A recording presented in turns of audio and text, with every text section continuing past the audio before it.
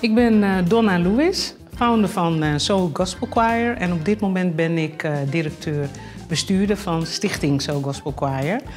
En ja, het is, het is eigenlijk ongelooflijk dat we ja, 15 jaar geleden een idee hadden voor een, ja, voor een koor.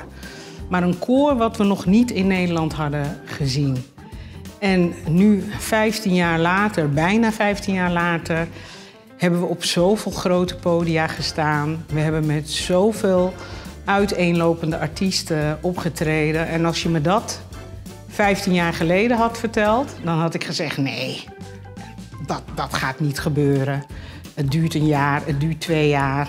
En ik moet zeggen dat ik dat in de loop van de tijd, elke keer dacht ik weer: oké, we zijn nu klaar, we hebben alles gehad, we hebben alles gezien, we hebben alles gezongen. En vervolgens kwam er weer een volgend uh, tof project waar je geen nee tegen kon zeggen.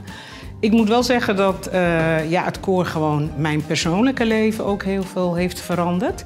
Ik uh, ben op dit moment bijna fulltime ja, aan het werk voor het koor.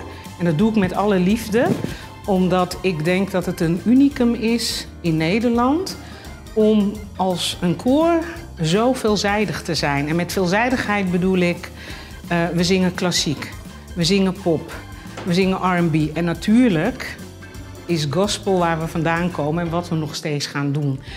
Het concert in AVAS Live maakt eigenlijk de cirkel uh, rond. Want daar zijn we ooit begonnen. En om daar dan te staan op zo'n groot podium, maar echt als eigen act, zoals 15 jaar geleden, is voor ons natuurlijk een enorme blessing. Ik uh, zou het leven zonder koor, zonder zo'n gospel choir, kan ik me eigenlijk niet meer, meer voorstellen. Het is een onderdeel van mijn leven geworden. Het hoort bij mij en zo zal het altijd blijven.